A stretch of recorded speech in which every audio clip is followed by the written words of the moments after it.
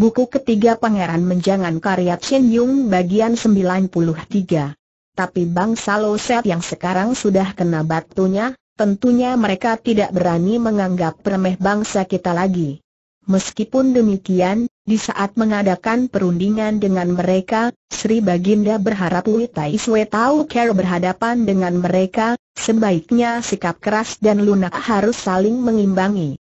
Memang benar, Sri Baginda memang sudah berpesan agar kita menampar pipi mereka beberapa kali, menendang kaki mereka beberapa kali, setelah itu kita harus menepuk-nepuk pundak mereka beberapa kali dan mengelus-elus punggung mereka beberapa kali, sahut Xiao Po seperti biasanya. Tidak karuhan. Ratu yang memegang tampuk pemerintahan di negara Losat sekarang juga licik sekali. Dalam surat balasannya dia seakan-akan tidak tahu kalau ada pembesarnya yang sudah tertahan oleh kita. Namun ada beberapa patah kata yang justru membuka kedoknya sendiri. Dia mengatakan bahwa bersedia mengadakan perundingan dengan pihak kita, tapi meminta kita mengembalikan para serdadunya yang berhasil kita tangkap agar dapat diadili di negaranya sendiri, kata utusan kaisar. Xiao Po tertawa.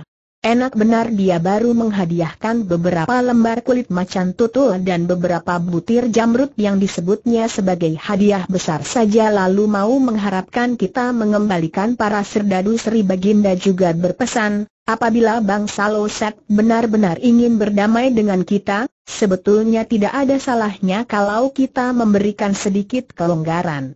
Tapi kita harus membawa pasukan besar ke sana serta mengadakan perjanjian di bawah tembok kota, kata si utusan pula. Apa sih yang dimaksud dengan perjanjian di bawah tembok kota tanya Xiao Po.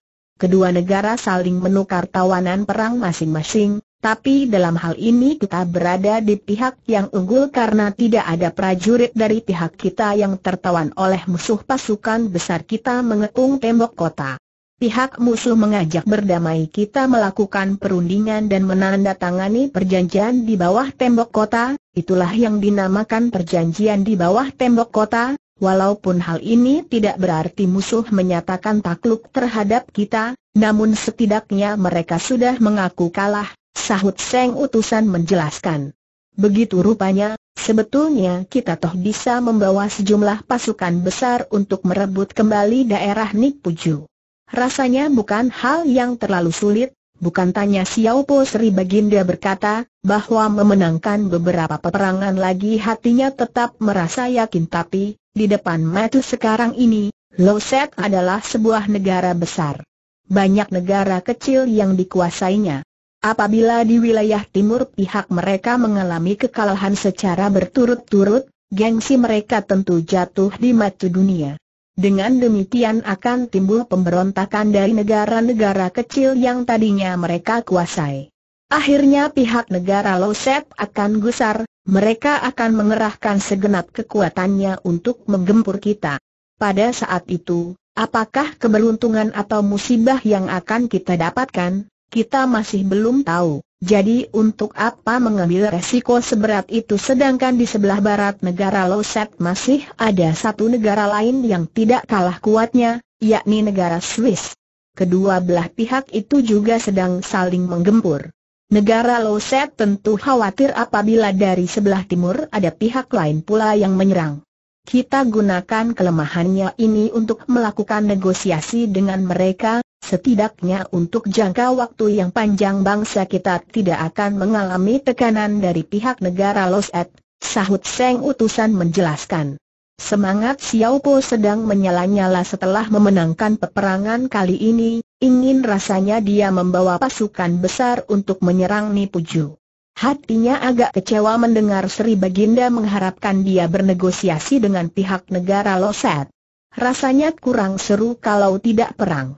Tapi ini merupakan keputusan Sri Baginda, tentu saja Xiao Po tidak berani membantahnya lagi. Utusan ini adalah paman Sri Baginda, juga merupakan paman istriku, kalau dihitung-hitung kau adalah generasi tua. Pangkatmu pangeran tingkat satu, sedangkan aku belum lama dinaikkan pangkat menjadi pangeran tingkat dua. Kali ini Sri Baginda menyuruhku mengadakan perundingan dengan pihak Loset, kau justru dijadikan wakilku. Kalau dipertimbangkan lagi, Sri Baginda sudah cukup memberi muka kepadaku, pikirnya.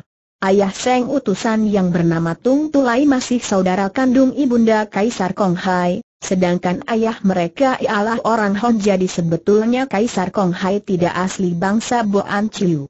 Dalam tubuhnya masih mengalir setengah darah Hon. Tung Tulai sudah meninggal, anaknya Tung Kok Bang, utusan, dianugerahi pangkat pangeran tingkat satu. Dulu Tung Tulai menjadi komandan pasukan perang di luar perbatasan, dia memimpin pasukan bendera kuning. Pada zaman keemasannya, jasa orang itu banyak sekali, dan namanya sangat terkenal namun Xiao Po selalu merasa nama itu kurang bagus, Tulai, Tulai. Kalau diartikan dalam bahasa Cina bisa mengandung makna orang yang sudah kalah berjudi tapi tidak mau bayar. Malam hari itu, Xiao Po mengadakan perjamuan sekali lagi, selesai bersantap, seperti biasanya Xiao Po mengajak tamunya bermain judi. Tentu saja si utusan raja tidak menolak mereka bermain sampai larut malam Tung Kok Bang, utusan raja kalah sampai 600 cel luang perak lebih. Namun orang itu masih tertawa terbahak-bahak tidak sedikit pun tampang orang yang sudah kalah tidak mau membayar begitu kembali ke kamarnya, Lama Xiao Po merenung. Dia berpikir dalam hati. Si utusan raja ini bersikap sportif, untung tidak menuruni nama ayahnya yang tulai. Sudah kalah tidak mau bayar orangnya juga cukup menyenangkan masih kerabat si raja cilik pula, orang ini harus kugaet agar menjadi teman dekat. Keesokan harinya Xiao Po mengadakan rapat bersama beberapa menteri dan pembesar yang dikirimkan dari kota raja. Mereka mengatakan bahwa sebaiknya pasukan perang diberangkatkan sekarang saja karena cepat atau lambat mereka toh harus melakukan perundingan dengan pihak negara Loset.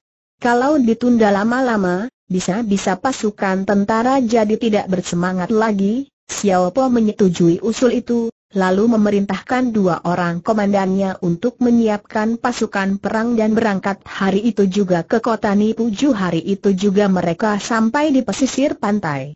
Ada seorang prajuritnya yang melaporkan bahwa telah datang dua orang komandan yang memimpin sepasukan serdadu, mereka mengajukan permohonan untuk bertemu dengan Witai Swe Xiao Po menyuruh keduanya menghadap, rupanya kedua orang itu tidak lain dari Wapatski dan Cekunov, Xiao Po gembira sekali melihat mereka bagus, bagus rupanya Wong Pat Seki dan Chu Kejucu serunya keras-keras kedua orang itu segera membungkukan tubuh sebagai penghormatan lalu menyerahkan surat balasan dari Ratu Sofia si ahli sastra berkebangsaan Loset yang mewakili Xiao Po menulis surat masih ikut dengan rombongan mereka. Tentu saja untuk menjaga kemungkinan apabila tenaganya diperlukan sewaktu-waktu, di samping itu, Kaisar Kong Hai juga mengutus seorang penterjemah berkebangsaan Holland untuk membantu Xiao Po dalam melakukan perundingan Xiao Po segera memanggil keduanya untuk membacakan surat Ratu Sofia. Si ahli sastra dari negara Loset telah mengubah sedikit surat Xiao Po tempo hari. Dia khawatir dalam surat balasannya Ratu Sofia menyinggung hal yang akan membongkar rahasianya. Cepat-cepat dia mengambil surat dari tangan Xiao Po dan melihatnya sekilas. Hatinya baru merasa tenang setelah mengetahui isinya. Dia menyerahkan surat itu kepada si penterjemah Halin yang langsung membacakannya dalam bahasa Cina. Surat itu menyatakan, bahwa sejak berpisah dengan Xiao Po, Ratu Sofia juga selalu merindukan anak muda itu. Dia berharap, setelah perundingan berjalan dengan lancar, Xiao Po bersedia main ke Moskow untuk mengenangkan kembali masa lalu mereka yang indah. Xiao Po mendapat perhatian serta kasih sayang dari dua kepala negara yang seharusnya menjadi penengah yang adil untuk menghapus segala kesalahpahaman dan sengketa yang tidak diperlukan. Ratu Sofia juga berharap Xiao Po akan menjadi penunjang tercapainya kerukunan kedua belah pihak. Dalam suratnya Ratu Sofia juga mengatakan bahwa Cina dan Loset merupakan dua negara terbesar di timur dan barat, bila kedua negara dapat bekerja sama, maka tidak akan ada negara lain di dunia yang berani mencoba-coba menyerang mereka. Namun apabila perundingan tidak berjalan sesuai kehendak kedua belah pihak maka perang yang panjang tidak akan dapat dihindarkan lagi. Akhirnya baik negara Loset maupun negara Cina akan mengalami kerugian besar. Ratu Sofia berharap Xiao Po dapat menunaikan tugas ini dengan baik, agar dapat mendirikan jasa besar bagi negara Cina, sedangkan negara Loset juga tidak akan melupakan begitu saja kebaikannya. Dia juga meminta Xiao Po memujuk Kaisar Kong Hai agar bersedia membebaskan para serdadu Loset yang telah tertawan. Dengan demikian mereka dapat kembali ke keluarga masing-masing yang sudah merasa cemas sekali atas nasib para suaminya. Ahli sastra itu sudah selesai membacakan surat dari Ratu Sofia, Xiao Po melihat Wapatski dan Cikonov memberikan isyarat dengan kedipan mata. Anak muda itu tahu masih ada urusan lain yang ingin dibicarakan kedua orang itu. Xiao Po segera menyuruh kedua ahli sastra Loset dan Halin itu meninggalkannya. Setelah itu dia baru bertanya. Apakah masih ada urusan lain yang ingin kalian bicarakan? Tuan Putri meminta kami menyampaikan pada pembesar bocah Tiongkok bahwa laki-laki bangsa Loset tidak ada yang hebat, justru harus pembesar bocah Tiongkok seorang yang paling hebat di dunia. Chuan Putri merasa rindu sekali kepada Anda. Biar bagaimanapun hamba berdua harus berhasil mengundang pembesar bocah Tiongkok mengunjungi Moskow kata Walpatski. Xiao Po mendengus satu kali, diam-diam dia berpikir, ini pasti rayuan gaya Loset, sama sekali tidak dapat dipercayai terdengar Cikonov berkata lagi. Chuan Putri masih mempunyai beberapa macam urusan yang harus dimohonkan penyelesaiannya kepada pembesar bocah Tiongkok. Ada pula sesuatu yang diberikan oleh Chuan Putri kepada pembesar bocah Tiongkok. Dia melepaskan rantai tembaga yang melilit di lehernya, gandulannya ternyata sebuah peti besi berbentuk mini, besarnya kurang lebih dua kali kepalan tangan orang dewasa. Demikian pula dengan Walpatski, kemungkinan kedua orang itu menempuh jarak jauh, jadi mereka terpaksa menggunakan care seperti ini untuk menjaga jangan sampai peti kecil itu hilang di perjalanan atau dicuri orang. Setelah itu Cekonov juga mengeluarkan sebuah anak kunci dari selipan ikat pinggangnya, rupanya tutup peti itu digembok rapat dia menggunakan kuncinya untuk membuka peti mini di tangan Walpatski, sedangkan Walpatski juga mengeluarkan anak kuncinya untuk membuka peti mini di tangan Cekonov. Kemudian keduanya menghaturkan peti-peti mini itu dengan hormat ke atas meja di hadapan Xiao Po. Xiao Po mengangkat peti mini yang pertama, lalu membalikan terdengarlah suara dentingan, ternyata dari dalamnya tumpah puluhan butir batu permata yang indah-indah sinarnya menyilaukan mata, ada batu safir, ada jamrut, batu mira, bahkan topas kuning, sedangkan peti mini yang satunya berisi berlian dan intan yang besar-besar. Seumur hidupnya, sudah banyak batu permata, emas dan intan berlian yang dilihat Xiao Po. Tapi jumlah sebanyak ini dan bentuknya sebesar ini, benar-benar belum pernah ditemuinya, sambil tertawa dia berkata, Wah, hadiah yang diberikan Chuan Putri benar-benar berat dan besar sekali, aku merasa tidak kuat menerimanya Chuan Putri juga berkata, Seandainya pembesar bocah Tiongkok bisa menyelesaikan pekerjaan besar yang disodorkannya, masih ada hadiah-hadiah menarik lainnya, seperti sepuluh gadis cantik dari sepuluh negara, yakni India, Nepal, Pakistan, Polandia, Jerman, Swiss, Polinesia, Denmark dan lain-lainnya. Dijamin semuanya masih perawan, bukan janda serta berparas cantik bak Dewi Kayangan, Semuanya akan dipersembahkan kepada pembesar bocah Tiongkok kata Walpat Ski Xiao Po tertawa terbahak-bahak mendengarnya. Aku sudah mempunyai tujuh istri, itu saja sudah cukup kesulitan yang kuhadapi.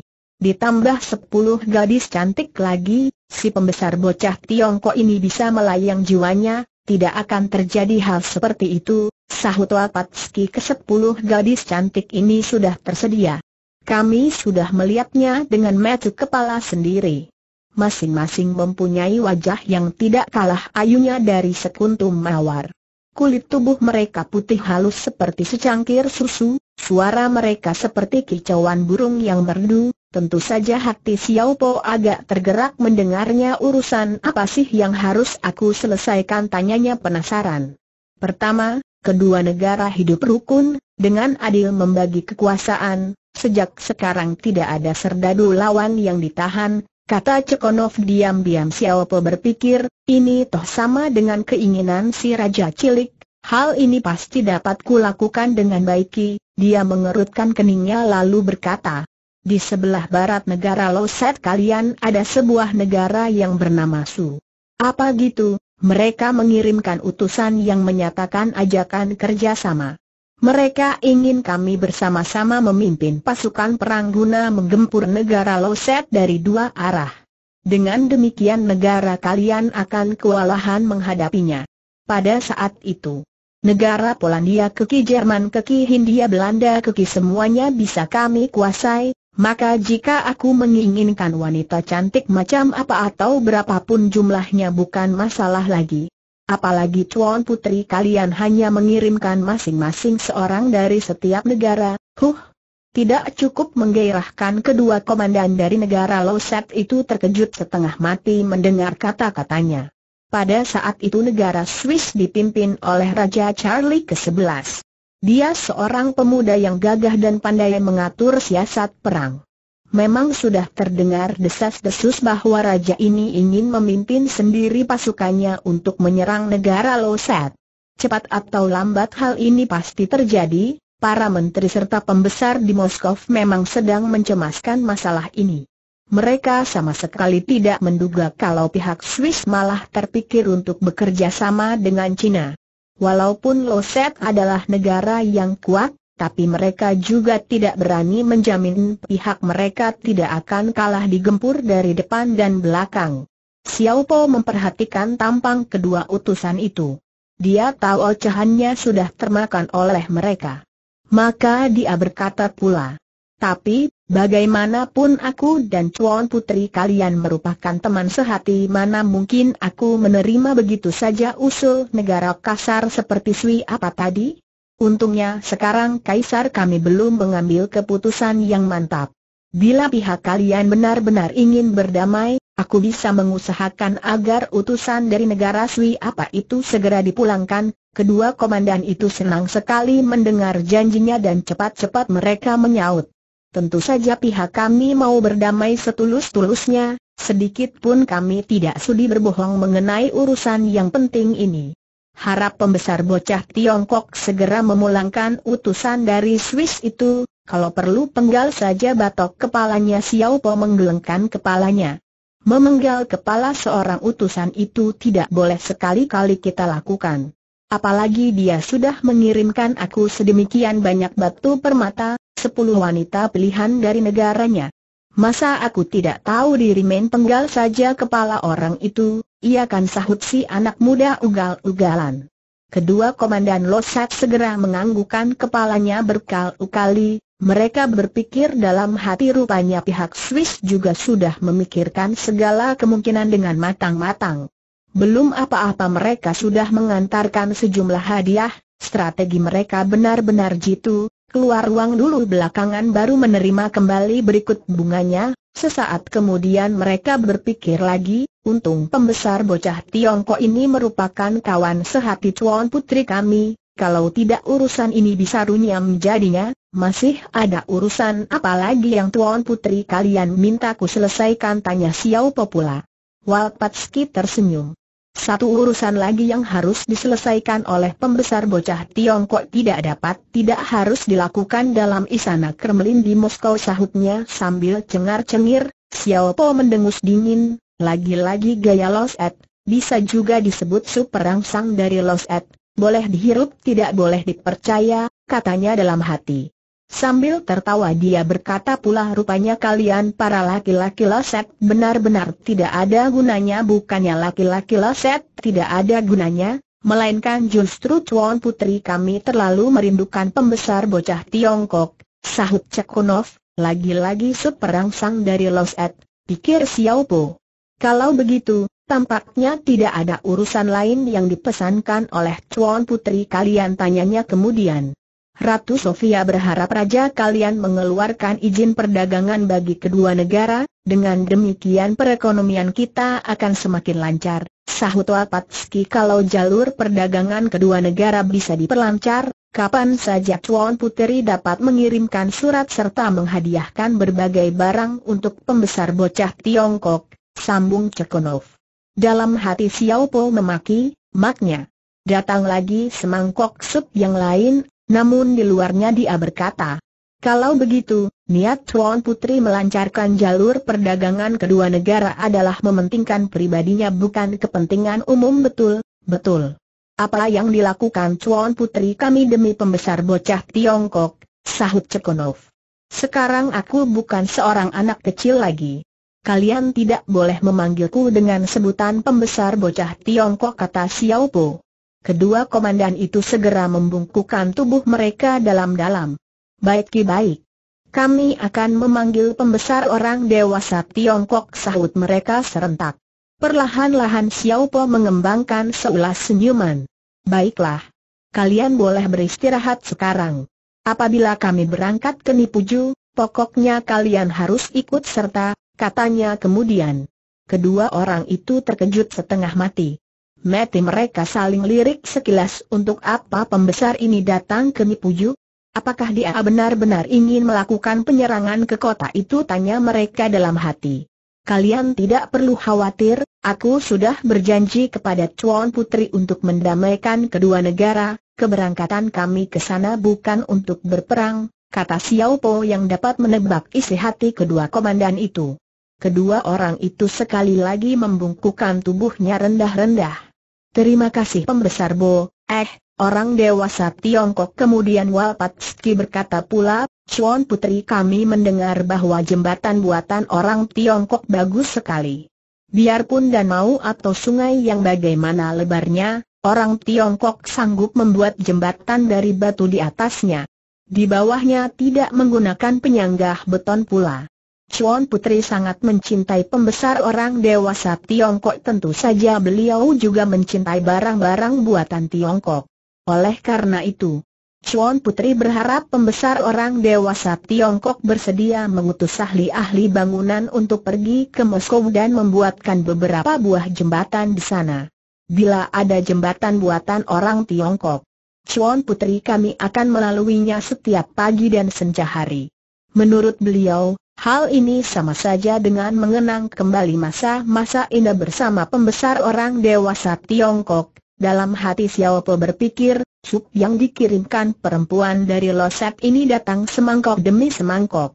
Kalau aku terus menghirupnya, lama-kelamaan aku pasti bisa muntah. Secara khusus Tuan Putri Loset ini mengincar jembatan batu buatan bangsa kami, ada apa sebenarnya? Pasti ada udang di balik batu.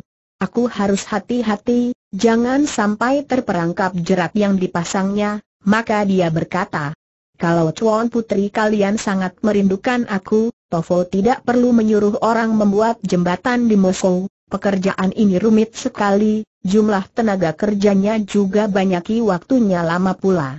Biar aku kirimkan beberapa lembar selimut dan bantal guling saja.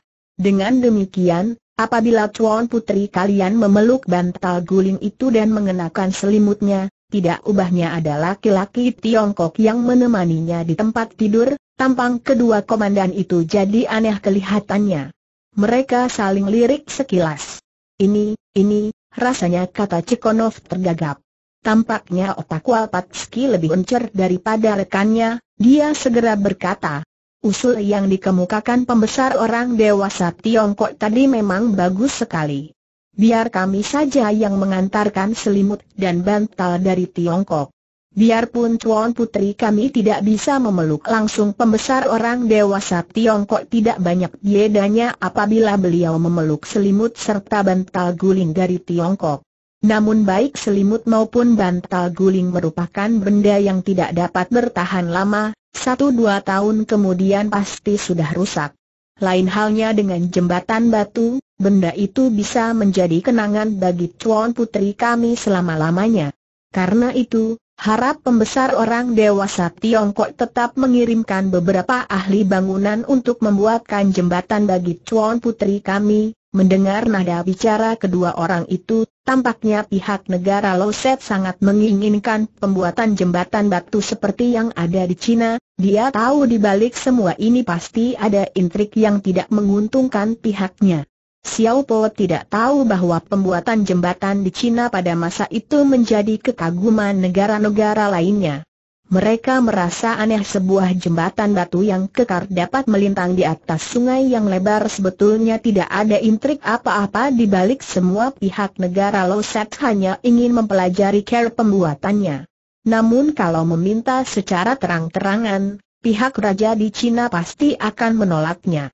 Apabila berhasil membujuk Xiao Po mendatangkan beberapa ahli bangunan untuk membuatkan jembatan di Moskov, mereka bisa menyuruh ahli mereka melihat care buatannya dan kemudian menirukannya. Xiao Po berpikir lagi dalam hati, apa yang semakin kalian inginkan, bapakmu ini semakin tidak suri memberikannya, maka dia berkata, Baiklah, aku sudah tahu. Kalian boleh mundur sekarang kedua komandan Loset itu tidak berani banyak bicara lagi. Kemudian setelah memberikan penghormatan mereka pun mengundurkan diri keesokan harinya, pembesar utusan Loset yang ada di kota Nipuju yakni Fedor. Agolovin mendapat laporan bahwa pasukan besar kerajaan Cheng telah tiba. Cepat-cepat dia menyuruh seseorang mengantarkan surat yang menyatakan bahwa dia akan segera menjumpai mereka dan berharap pihak kerajaan Cheng mendirikan kemah di luar kota tersebut. Tidak perlu sungkan-sungkan. Biar kami yang mendatanginya sebagai tamu kata Xiao Po para prajurit kerajaan Cheng segera berpencar Lampu Suki Pengcun dan komandan perang yang lainnya memimpin pasukan masing-masing untuk mengepung seluruh kota Nipuju. Bahkan jalan mundur Serdadu Loset juga ditutup untuk menjaga kemungkinan mereka melarikan diri. Juga untuk mencegah masuknya bala bantuan dari pihak barat, Xiao Po sendiri memimpin sepasukan prajurit tepat di depan pintu gerbang kota itu. Dia menggerakkan tangan sebagai isyarat. Dalam sekejap mata berpuluh-puluh meriam ditembakkan ke atas sebagai tanda kedatangan mereka. Para pembesar serta menteri-menteri Loset melihat begitu banyaknya prajurit kerajaan Cheng telah mengepung di sekitar mereka. Malah semangat para prajurit itu begitu berkobar-kobar sehingga sedikit banyak membuat ciut nyali lawan. Golovin sebagai menteri utusan Loset segera menyuruh anak buahnya menyiapkan berbagai macam hadiah untuk dipersembahkan kepada utusan dari Cina, Selain itu dia juga menyampaikan surat yang isinya menyatakan bahwa pimpinan kedua negara telah bersepakat untuk berdamai. Untuk menjaga kemungkinan yang tidak diinginkan, sebaiknya tentara kedua belah pihak jangan terlalu berdekatan, urusan apa pun dapat dirundingkan secara baik-baik. Bila kedua belah pihak ada satu orang saja yang memulai sengketa, urusannya bisa gawat. Perdamaian pun jangan diharapkan lagi. Xiao Po segera mengajak para menterinya untuk merundingkan masalah ini supaya banyak mengatakan bahwa bangsa Tionghoa bukanlah bangsa yang tidak tahu adat istiadat karena pihak lain telah meminta secara baik-baik maka bangsa Tionghoa pun harus menerimanya sopan dulu, perang belakangan. Xiao Po langsung meminta para prajuritnya untuk mundur sejauh beberapa li Golovin melihat prajurit-prajurit kerajaan Cheng telah mengundurkan diri sesuai permintaannya. Hatinya menjadi lapang. Dia menulis sepucuk surat lagi untuk Xiao Po yang isinya menyatakan bahwa dia mempunyai empat hidayat yang diharapkannya dapat dipenuhi oleh Xiao Po pertama, tempat pertemuan harus di pertengahan antara kota Nipuju dan sungai Sengolekev. Kedua, pada waktu pertemuan, utusan dari kedua belah pihak akan didampingi oleh 40 orang pilihannya. Ketiga, juga disiapkan 500 prajurit dari negara masing-masing, Serdadu Loset menjaga di bawah tembok kota, sedangkan prajurit kerajaan Cheng menjaga di sepanjang sungai. Empat, utusan kedua negara juga dikawal oleh Serdadu serta prajurit dari pihak masing-masing, batasnya 260 orang. Tidak ada seorang serdadu pun dari kedua belah pihak yang boleh membawa senjata tajam ataupun senapan api. Golovin mengajukan keempat hidayat ini justru mengingat banyaknya prajurit kerajaan Cheng yang datang, sedangkan serdadu dari pihaknya jauh lebih sedikit. Kalau jumlah pengawal utusan itu tidak dibatasi kerugian pasti ada di pihaknya. Xiao Po mengajak para menterinya merundingkan persyaratan yang diajukan oleh Golovin. Mereka merasa permintaan itu dapat dipenuhi, maka waktu pertemuan pun ditentukan malam hari itu juga Xiao Po menyuruh orang mendirikan tenda besar untuk tempat berlangsungnya pertemuan. Keesokan harinya, Xiao Po, Sun Go Ta dan Tengkok Bang membawa 40 orang pilihan serta 200 prajurit ke tempat pertemuan. Di depan pintu Nipuju yang terpentang lebar, tampak Che Golovin memimpin sejumlah pasukan berkuda yang semuanya dilengkapi dengan perisai. Mereka berbaris dengan rapi, tampak gagah dan berwibawa. Melihat hal itu, Xiao Po langsung memaki. Neneknya Setan Loset benar-benar licik. Dalam syarat yang diajukan kemarin hanya dikatakan bahwa masing-masing utusan boleh membawa pengawal sebanyak 260 orang. Kita justru tidak menanyakan pasukan jalan kaki atau pasukan berkuda. Telah dicantumkan pula bahwa kedua belah pihak tidak boleh membawa senjata tajam, tidak taunya mereka justru membawa perisai untuk melindungi diri. Hal ini mengingatkan kita bahwa dalam mengadakan perjanjian dengan pihak mereka kita harus super hati-hati. Kalau kita melakukan setitik kecerobohan saja, kita bisa tergelincir habis-habisan kata Son Gota sementara kedua orang itu berbicara, Pasukan berkuda Losat sudah hampir sampai di hadapan mereka. Kita ikuti saja perintah Sri Baginda, bangsa kita adalah bangsa yang tahu sopan santun, tidak suka menggunakan kekerasan. Kita tunjukkan terlebih dahulu niat baik kita, sebaiknya kita turun dari kuda, ujar Tengkok Bang. Baik, semuanya turun dari kuda teriak Xiao Po memberikan perintah. Empat puluh orang pilihan yang mengiringi kedatangan memang menunggang kuda. Mereka segera turun dan berdiri dengan rapi, Golovin yang melihat hal itu segera berseru lantang dan para pengikutnya pun segera turun dari kuda masing-masing. Kedua belah pihak sama-sama maju untuk berhadapan. Utusan raja dari negara Los Et, Golovin mendoakan semoga Sri Baginda serta keluarganya di Tionggoan dalam keadaan sehat-sehat selalu ujar Golovin dengan suara lantang. Xiao Po menirukan kata-kata lawannya, utusan dari kerajaan Cheng mendapat perintah dari Kaisar Kong Hai untuk mendoakan semoga pangeran-pangeran beserta seluruh keluarganya di Moskow dalam keadaan sehat-sehat selalu dia membungkukkan tubuhnya memberi hormat lalu menambahkan sedikit. Semoga Chuan Putri Sofia juga selalu cantik dan berbahagia Golovin tersenyum simpul dalam hati dia berpikir Kaisar Cina Kok mendoakan semoga Chuan Putri kami selalu cantik dan berbahagia. Tapi kalau Chuan Putri mendengarnya, tentu beliau akan merasa senang juga. Kedua belah pihak segera mengenalkan menteri-menteri dan pembesar dari negara masing-masing lalu berbahasa basi sedikit. Setelah itu masing-masing mengemukakan pendapat tentang perjanjian yang harus disetujui Xiao Po melihat para pembesar dan menteri dari negara Loset mendengarkan ahli sastra Cina membacakan surat kaisar dengan tenang dan sopan, tapi ke-260 serdadu negara itu justru sudah melompat naik ke atas kuda masing-masing dan mengacung-acungkan perisai di tangan mereka tinggi-tinggi. Xiao Po yang melihatnya semakin lama semakin mendongkol. Ucapan ini dikatakan dalam bahasa Loset. Biasanya bahasa asing yang terucap dari mulut anak muda ini selalu kacau balau, tapi dalam keadaan serius ternyata dia dapat menggunakannya dengan baik, bahkan aksennya mengandung wibawa yang dalam. Serdadu kalian benar-benar tidak mengenal sopan santun bertemu dengan pembesar orang dewasa Tiongkok seharusnya mereka turun dari kuda dan menunggu sampai pertemuan selesai Golovin menyahut dengan tenang.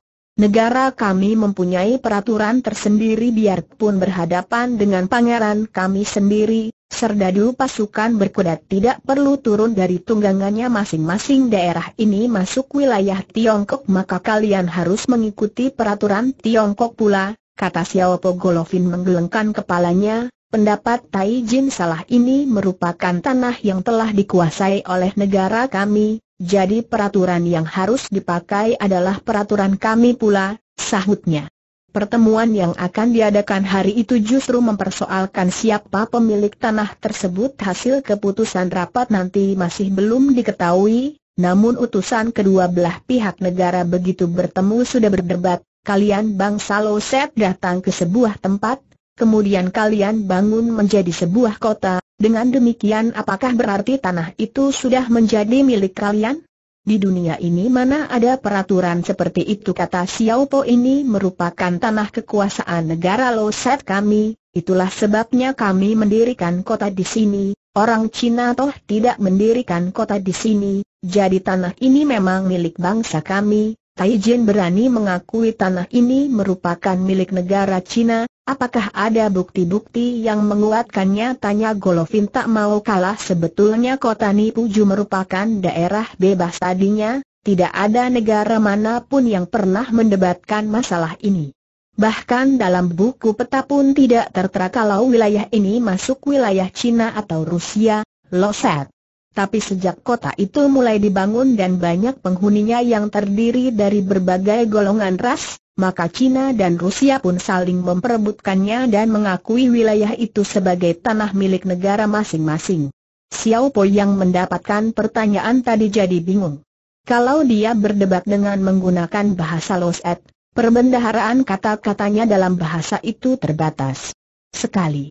Untuk percakapan saja dia sudah kewalahan, apalagi harus bersilat lidah? Hatinya marah sekali. Ini merupakan tanah negara Cina kami mempunyai banyak bukti teriaknya. Kemudian dia mengganti kata-katanya dengan menggunakan bahasa daerah yang ciu, kampung kelahirannya, maknya.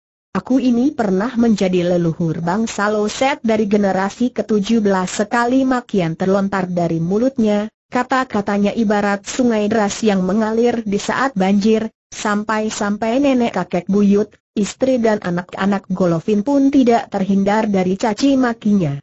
Melihat utusan dari Tiongkok itu marah sekali, menteri-menteri dan pembesar kedua negara menjadi bingung sekali, jangankan Golovin yang tidak mahir berbahasa Cina, bahkan banyak prajurit dari pihak Xiaopo sendiri tidak mengerti apa yang diucapkannya. Bahasa yang digunakan Xiaopo merupakan caci maki dari kalangan rendah di kota yang ciu orang-orang dari keluarga baik-baik dalam kota itu mungkin hanya bisa menangkap dua atau tiga bagian kata-katanya. Apalagi Son Gota, Tungkok Bang yang selamanya tinggal di utara dan mendapat didikan dari kalangan istana? Setelah memaki panjang lebar, hati Xiaopo sudah terasa lapang. Tiba-tiba dia tertawa terbahak-bahak walaupun tidak mengerti maksud ucapan Xiao Po, tapi melihat mimik wajahnya saja Go Fofin dapat merasakan bahwa anak muda itu sedang melampiaskan kemarahan di hatinya. Dan ketika dia melihat akhirnya Xiao Po tertawa terbahak-bahak, dia malah terkesima. Untuk sesaat dia menatap Xiao Po dengan pandangan terpana. Mohon tanya kepada Taijin, Petunjuk apa yang diberikan oleh Tai Jin barusan tanyanya kemudian harap dimaklumi, bahasa Cina kami terbatas, sedangkan bahasa yang digunakan Tai Jin adalah bahasa tinggi semoga Tai Jin bersedia mengulangi satu persatu dan menjelaskan maknanya agar kami sekalian dapat mengerti. Tadi aku mengatakan bahwa kau benar-benar tidak tahu aturan, aku ingin mengambil nenek moyangmu menjadi istriku, Go tersenyum. Ketika masih gadis, nenekku terkenal di kota Moskow karena kecantikannya. Banyak bangsawan negara kami yang tergila-gila kepadanya. Ayahnya adalah Menteri Pedrovowski yang gagah rupanya Taijin juga pernah mendengar tentang kecantikan nenekku. Aku merasa bangga sekali karenanya, sayangnya nenekku sudah mati sejak 38 tahun yang lalu, Sahutnya kalau begitu aku memilih ibumu saja untuk menjadi kekasih atau istriku, kata Xiao Popula wajah Golovin semakin berseri-seri, kelihatan kalau hatinya sedang gembira sekali. Ibuku juga keturunan orang terkenal wajahnya bersih, kulitnya halus. Beliau pandai membuat puisi dalam bahasa Perancis, di dalam kota Moskow saja entah ada berapa puluh pangeran yang jatuh hati kepadanya. Di negara kami ada seorang penyair yang pernah menuliskan 50 lembar puisi untuk ibuku, usianya sekarang sudah 63 tahun, tapi tampangnya tidak melebihi wanita yang berusia tiga puluhan. Kalau suatu hari pembesar orang dewasa Tiongkok berkunjung ke Moskow, aku pasti akan mengenalkan kalian berdua. Tapi untuk menikah rasanya tidak mungkin. Kalau jadi kekasih hati saja, tentu tidak apa-apa seandainya ibuku juga bersedia kebudayaan barat memang jauh berbeda dengan kebudayaan timur. Bila ada memuji istri atau ibunya, mereka bukannya cemburu, justru malah merasa bangga bahkan merasa lebih menyenangkan daripada dirinya sendiri yang dipuji. Xiao Po justru salah paham. Dia menyangka Golovin merasa gentar terhadapnya sehingga ibu sendiri pun rela dipersembahkan baginya. Kemarahan yang menyelimuti hatinya tadi sirna seketika. Apalagi mendengar nada suaranya, tampaknya Golovin bersedia mengangkat dirinya sebagai ayah tirinya sambil tertawa dia berkata pula. Bagus, Bagus sekali lain kali kalau aku berkunjung ke Moskow, aku pasti akan menjadi tamu langganan dalam rumahmu. Dia menarik tangan, Golovin lalu diajaknya masuk ke dalam rumah. Pengikut dari kedua negara pun ikut masuk ke dalam tenda yang besar itu rombongan Xiaopo duduk di sebelah timur, sedangkan rombongan Golovin di sebelah barat, Nolo Nol Ratu yang memegang tampuk pemerintahan di negara kami berpesan bahwa dalam perundingan menuju perdamaian kali ini, pihak kami benar-benar tulus. Kedua belah pihak harus adil siapa pun jangan sampai ada yang menekan pihak lainnya. Karena itu cula, negara kami mengusulkan untuk menggunakan sungai Heoliongki yang sebagai batas. Bagian utara sungai, Kiangpak, merupakan wilayah kami, sedangkan sebelah selatan, yakni Kiang Lem menjadi wilayah Tiongkok. Kalau perundingan ini disetujui, mulai sekarang serdadu kami tidak boleh menginjakan kaki ke wilayah selatan dan prajurit kerajaan Cheng tidak boleh melintas ke utara, kata Golovin sebagai pembukaan. Kalau kota Yakeleng itu termasuk wilayah utara atau selatan tanya Xiao Po letaknya di sebelah utara sungai kota itu juga dibangun oleh bangsa kami, jadi termasuk wilayah kekuasaan kami, sahut Golovin. Mendengar kata-katanya, hawa amarah dalam dada Xiao Po meluap lagi. Di tengah-tengah kota Yakelang ada sebuah gunung, tahukah kalian apa nama gunung itu tanyanya. Golovin menolakkan wajahnya dan bertanya kepada seorang tua yang berdiri di belakangnya, setelah itu dia baru menjawab. Namanya Gunung Kocuple Xiao Po tahu Kocuple artinya menjangan, maka dia berkata. Dalam bahasa Cina disebut Lutingsan, Gunung Puncak Menjangan. Tahukah kau pangkat apa yang aku jabat sekarang? Tai Jin adalah Luting Kong, dalam bahasa kami disebut Kong Ciak dari Kocutle, sahut Golovin. Kalau begitu kau sengaja ingin menentang aku. Kau sudah tahu kalau aku ini Lu Kong, tapi kau sengaja menguasai Gunung Luting San jadi kau menginginkan agar aku tidak mendapat jabatan sebagai Kong Ciak Tidaki-tidaki kami tidak bermaksud demikian, sahut Golovin cepat. Sekarang aku ingin tahu apa jabatanmu tanya Xiao Popula. Jabatanku sekarang Menteri Lomonosas baik, Lomonosas jitu terletak di sebelah mana Tiongkok Golovin sempat terkejut mendengar pertanyaannya, tapi segera tersenyum. Lomonosas terletak di sebelah barat Moskow, mana ada kaitannya dengan negara Tiongkok tadi kau mengatakan bahwa jabatanmu juga berdasar nama suatu tempat yakni Laomanosiasi, Laomanosiasi, Sela Golovin. Xiao Po tidak memperdulikannya, dia tetap melanjutkan kata-katanya. Berapa jauh jarak antara Peking, kota raja kami dengan Lomona apa tadi? Harus menempuh perjalanan berapa hari jarak dari Lomonosasce ke Moskow saja kurang lebih 500 li, setidaknya menempuh perjalanan lima hari sedangkan ke kota Raja Cina mungkin harus menghabiskan waktu tiga bulan lebih, taruhlah waktu yang dihabiskan untuk menempuh perjalanan itu kurang lebih tiga bulan lima hari. Wah, Benar-benar perjalanan yang panjang kata Xiao Popula. Ya, memang perjalanan yang panjang sekali, sahut Golovin. Kalau perjalanannya saja sepanjang itu, sudah pasti wilayah Lomono apa tadi bukan lagi termasuk wilayah Cina, kata Xiao Popula. Golovin tersenyum. Apa yang dikatakan Tai Jin memang tepat sekali, Xiao Po mengangkat cawan araknya. Silahkan minum ajaknya. Orang loset gemar minuman keras. Malah mereka memilih tidak makan daripada tidak meneguk minuman keras. Tapi setidaknya Golovin tahu aturan. Arak sudah sejak tadi disajikan di depan batang hidungnya, baunya harum semerbak. Namun apabila tuan rumah belum mempersilahkannya minum, sudah pasti dia tidak berani menyentuhnya, sekarang mendengar ajakan Xiaopo, tentu saja hatinya senang sekali. Dia segera mengangkat cawan araknya dan meneguknya sekaligus sampai kering. Seorang prajurit yang bertugas melayani perjamuan itu segera menuangkan arak lagi ke dalam cawan Golovin. Pembesar dari Moskow itu juga dijamu dengan berbagai hidangan dari lainnya. Sembari bersantap, Iseng-Iseng Xiaopo bertanya, kapan Tuan utusan berangkat dari Moskow? Kami mendapat perintah dari Tuan Putri pada bulan 4 tanggal 12. Hari itu juga kami berangkat dari Moskow, sahut Golovin. Bagus, Mari kita keringkan lagi cawan ini. Teng Kong ya, Tung Kok Bang, kami ini kuat minum, kalian harus saling mengeringkan beberapa cawan, kata Xiao Po Tung Kok Bang segera menyalang Golovin, masing-masing minum sebanyak tiga cawan. Apakah tuan utusan bulan ini juga sampai di Nipuju tanya Xiao Po sambil lalu.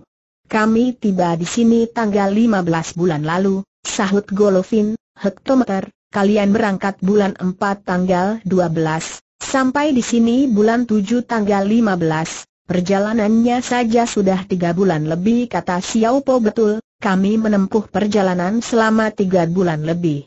Untung saja musim dingin sudah berlalu sehingga perjalanan yang harus ditempuh tidak begitu sulit Xiao Po mengacungkan jempolnya secara tiba-tiba, bagus, kali ini tuan utusan benar-benar bersikap jujur.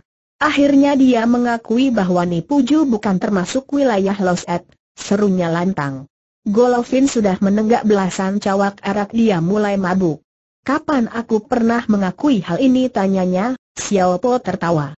Dari Lomonosa apa tadi ke kota raja memerlukan waktu selama tiga bulan lebih baru bisa sampah perjalanan itu panjang sekali, jadi Lomonosa apa tadi bukan termasuk wilayah Cina sedangkan dari Moskow ke Nipuju juga memerlukan waktu selama tiga bulan lebih ini bukan perjalanan yang pendek lo jadi Nipuju juga tidak mungkin termasuk wilayah negara Loset.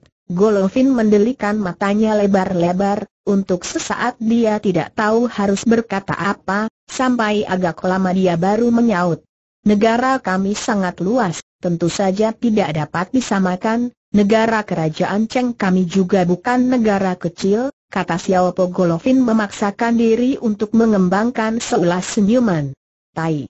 Tai Jin benar-benar suka bergurau. Kedua hal ini mana bisa dibanding-bandingkan? Chuan utusan masih bersikeras kalau Nipuju ini merupakan wilayah Loset. Kalau begitu kita bertukar tempat saja. Kita sama-sama berangkat ke Moskow. Aku akan memohon pada Ratu Sofia untuk menganugerahkan kepadaku jabatan sebagai Menteri Lomonan Sasa apa, dan kau menjabat sebagai Lu Tingkong. Dengan demikian maka wilayah Lomonosasa apa itu sudah menjadi wilayah Tiongkok, kata Xiao Popula. Wajah Golovin langsung berubah merah padam, mana ada aturan seperti itu ujarnya. Hatinya jadi gundah seketika. Dia tahu anak muda ini pernah menjadi kekasih hati Tuan Putirinya. Kalau sampai wanita itu terkena obat bius Cina anak muda ini, urusannya bisa runyam. Kemudian dia berpikir pula. Wilayah Lomonosas merupakan wilayah yang subur dan kaya dengan berbagai produk lokal. Bagaimana kalau Tuan Putri benar-benar memindahkan aku ke kota Nipuju ini? Di sini wilayahnya terkenal dingin, penduduknya masih segelintir, hasil buminya sedikit. Bisa celaka aku jadinya. Apalagi pangkatku yang sebenarnya adalah pangeran tingkat satu. Kalau aku berganti jabatan dengan anak muda ini, bukankah sama saja pangkatku jadi turun? Xiao Po melihat air muka Golovin yang serba salah sambil tertawa dia melanjutkan lagi. Kau malah bermaksud merebut kota Ya Kelang? Dengan demikian aku juga tidak bisa menjadi Luting Kong lagi? Biarpun nama wilayahmu yang Lomonosa apa itu kedengarannya kurang enak di telinga, tapi apa boleh buat, Tidak ada udang ikan pun jadi Golovin berpikir lagi, rasanya tidak mungkin kalau negara Cina ingin mengakui wilayah Lomonosas begitu saja. Tapi si bocah Xiaopo ini pernah mendirikan jasa bagi Tuan Putri. Bukan tidak mungkin dia diberikan jabatan untuk mengelola wilayah Lomonosas. Hal ini bisa membuat aku repot, sedangkan kami juga bukan serius menginginkan kota Yakelang, toh kota itu sudah diruduki kalian, memangnya kalian bersedia disuruh keluar begitu saja, karena itu dengan wajah tersenyum dia berkata, Apabila Tuan Utusan mengatakan kota Yakelong merupakan wilayah kalian, ya tidak apa-apa. Kami akan mengalah. Kedua negara tetap menggunakan sungai Heoliongki yang sebagai patokan. Kota Yakelang dan daerah sepuluh li di sekitarnya merupakan milik negara Cina, hal ini kami biarkan karena memandang muka tuan utusan saja. Kami sudah mengalah sebisa-bisanya, Xiao Po berpikir dalam hati, kalian sudah kalah perang masih membuka mulut besar coba kalau kalian yang memenangkan peperangan ini. Kemungkinan kota Peking juga harus kami serahkan kepada kalian, meskipun demikian di luarnya dia berkata, kita sudah melakukan peperangan satu kali, entah pihak kalian yang menang atau pihak kami yang menang Golovin mengerutkan keningnya, hanya perang kecil, rasanya juga sulit untuk mengatakan siapa yang menang atau siapa yang kalah. Apalagi Tuan Putri kami sudah berpesan, demi kerukunan kedua negara, jangan sekali-sekali berperang, itulah sebabnya kami tidak melakukan pembalasan ketika prajurit Tuan utusan menyerang. Kalau tidak akhir ceritanya tentu berbeda lagi Xiao Po jadi marah mendengar kata-katanya. Jadi kalau Bang Salo Set mengangkat senjata dan menembakkan meriam, bukan melakukan pembalasan namanya teriaknya keras-keras. Mereka hanya mempertahankan kota yang dianggap milik negaranya. Bukan melakukan pembalasan namanya. Kalau benar-benar berperang, tidak mungkin Bang Salo Set hanya mempertahankan tanpa melakukan pembalasan mereka pasti akan mengeluarkan seluruh persediaan senjata api yang paling hebat dan menyerbu langsung ke kota Raja Peking sahut Golovin. Xiao Po marah sekali. Dalam hati dia memaki, neneknya. Kalian bangsa rambut kuning hanya pandai menggertak. Kalau akui Xiao Po sampai termakan gertakanmu, maka aku akan mengikuti margamu, jadi anakmu atau cucumu namaku akan kuganti menjadi Xiao Po Pedro, dia tahu orang Losat selalu menggunakan nama kecil di depan dan marganya di belakang, tapi justru tidak tahu bahwa Pedro itu nama kecil si utusan, sedangkan Golovin baru marganya. Kemudian terdengar dia berkata, Bagus, bagus sekali tuan besar, tahukah kau apa yang paling kuharapkan dalam hati ini mengenai hal ini aku tidak tahu, harap tuan utusan memberikan petunjuk sahut Golovin. Jabatanku sekarang baru Kong Chiak, gelar pangeran yang diberikan karena mendirikan jasa besar, bukan pangeran asli. Aku mengharapkan kenaikan pangkat sehingga aku bisa menjadi pangeran yang asli atau setidaknya menantu raja, kata Xiao Po, menjadi pangeran asli atau naik pangkat, memangnya hanya kau yang bercita-cita setinggi, itu ejek Golovin dalam hati. Di luarnya dia justru berkata lain. Chuan utusan sangat cerdas dan masih muda, perjalanan yang harus ditempuh masih panjang. Apabila Tai Jin mendirikan beberapa jasa lagi, aku yakin lama-kelamaan Tai Jin akan dianugerahi pangkat sebagai cengong atau pangeran yang dianggap sedarah dengan rajanya. Dengan setulus hati aku mendoakan agar cita-cita Tai Jin segera tercapai, Xiao Po merendahkan suaranya. Tapi untuk hal ini aku memerlukan bantuanmu, katanya, Golovin tertegun sejenak. Tentu saja aku bersedia mengulurkan tangan, tapi entah bantuan apa yang dapat kuberikan tanya Golovin. Xiao Po mendekatkan bibirnya ke daun telinga Golovin dan berkata, kalau menurut peraturan negara kami, seorang harus sanggup memenangkan peperangan besar barulah dapat dianugerahi kedudukan pangeran tingkat satu, sedangkan sekarang ini negara kami sedang damai-damainya, para pemberontak sudah terbasmi semua. Untuk menunggu kesempatan baik ini, mungkin dua atau tiga puluh tahun lagi baru kesampaian, Sedangkan dalam perundingan ini kau tidak mau mengalah setindak pun, sebaiknya kau pimpin sejumlah pasukan besar untuk menggempur kota raja kami, kalau perlu sekarang bunuh dulu dua atau tiga orang menteri utusan istana. Dengan demikian kedua negara pasti akan berperang. Kau kerahkan seluruh perlengkapan senjata api dan meriam yang paling dahsyat untuk menyerang Peking dan kami akan bekerja sama dengan negara Swiss mengerahkan segenap kekuatan untuk menggempur Moskow. Lebih baik lagi kalau perangnya berjalan sadis, darah berceceran di mana-mana, rakyat yang tidak berdosa kita korbankan. Akhirnya toh aku bisa dianugerahi pangkat yang lebih tinggi, bahkan ada kemungkinan kaisar yang sekarang bersedia mengangkatku menjadi saudaranya, tolong deh, Mudah-mudahan Kasudi memberikan bantuanmu. Tapi bicaranya jangan keras-keras, nanti terdengar oleh orang lain semakin didengarkan hati Golovin semakin terkejut terhadap apa yang dikatakan Xiao Po. Dia berpikir bahwa anak muda ini benar-benar nekat demi mendapat jabatan sebagai pangeran asli saja rela mengadu domba kedua negara agar berperang, malah bermaksud mengajak negara Swiss bekerja sama untuk menggempur Moskow. Kalau perang ini sampai terjadi, siapa yang menang atau siapa yang kalah memang masih belum pasti. Tapi situasi di depan mata ini justru tidak menguntungkan pihaknya. Diam-diam Golovin menyesal barusan mengungkit-ungkit soal menggempur kota Raja Peking segala. Anak muda di hadapannya ini bukannya gentar malah jadi bersemangat umpannya kali ini sungguh-sungguh salah sasaran. Tapi kalau dia memperlihatkan mimik cemas, pasti akan dipandang rendah oleh Xiao Po untuk sesaat dia dilanda kebingungan. Terdengar Xiao Po berkata pula, sayangnya jarak tempat ini ke Moskow terlalu jauh. Kalau mengerahkan tentara Cheng menyerbu ke sana, kami tidak yakin juga, jangan-jangan bukannya menang malah kalah. Kalau sampai hal ini terjadi, Sri Baginda tentu akan menyalahkan aku, mendengar ucapan Xiao Po yang terakhir, Otak Golovin berjalan lancar lagi dan wajahnya berseri-seri seketika, betul, betul, sahutnya mengiyakan sebaiknya tuan utusan jangan menempuh resiko besar ini, aku toh hanya ingin mendirikan jasa besar agar mendapat kenaikan pangkat, bukannya benar-benar ingin menghancurkan negara Loset. Lagi pula, negara kalian begitu besar, belum tentu kami sanggup menghancurkannya, kata Xiao Po kembali Golovin mengiyakannya berkali-kali. Begini saja kata Xiao Po dengan suara lirih.